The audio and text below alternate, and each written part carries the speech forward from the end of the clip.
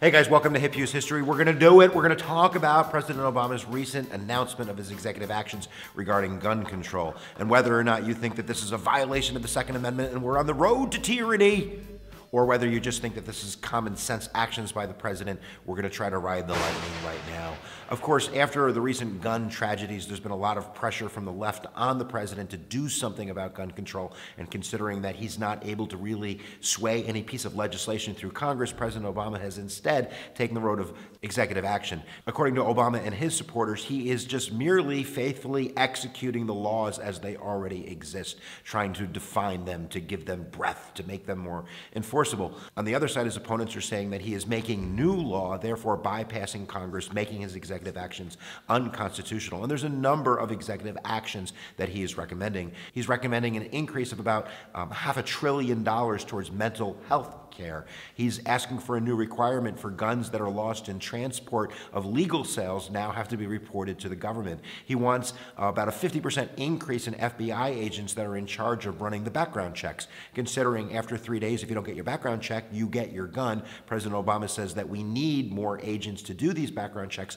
24 7 so we can follow the law as it is currently written. He also wants more ATF agents in order to enforce current law, and he's also asking the states for for more reporting in terms of people that would be disqualified for purchasing guns, felons, those convicted of domestic violence, those with um, mental disqualifications. He also wants more money put into smart gun research to try to make guns safer. But the most controversial is him trying to close the gun show loophole. And I'm doing this so people who don't believe in the gun show loophole don't have a coronary and die in front of me. But the gun show loophole is very controversial, and whether it exists or not, we're going to talk about it just a little bit. Obama said that 40% of gun purchases do not require or do not have right now a background check. And while that is true, about 29% of that 40% is being made up of private transactions that aren't occurring online, that aren't occurring at gun shows, that are occurring between neighbors, between family members. Uh, when somebody dies, the gun's getting passed on.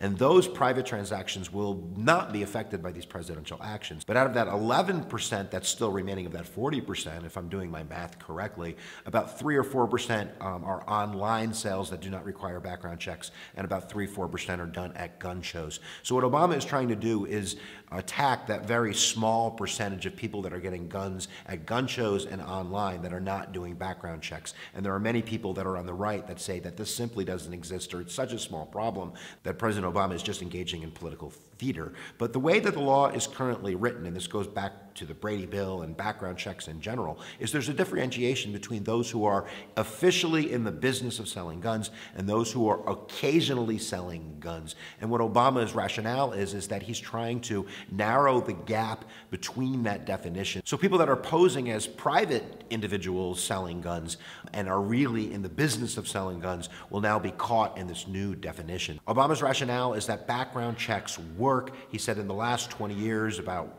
2 million people have been denied guns because of these background checks, including about 1.2 million felons. And of course, people on the other side say that right now it's such a low percentage of people that are buying guns illegally at gun gun shows that you are just getting in the way of people that are trying to buy guns legally. But at the end of the day, Obama's rationale for his executive actions is that he is faithfully executing the law as it is written, trying to make sure that people that are officially in the business of selling guns are now going to be defined using some type of criteria used by the ATF, including number of guns being sold, how long you're holding on to the guns, and whether or not you're doing marketing to sell those guns. And on the flip side, people are saying that Obama Obama has crossed the line. He is heading towards dictatorship. He's making new law. And I want to know what you think about it right now down in the comments below. So giddy up for the learning, guys. We hope you know a little bit more about Obama's recent announcement on executive actions on guns. So thanks for watching. Make sure you watch lots of other videos and always remember where attention goes, energy flows. Bang, bang.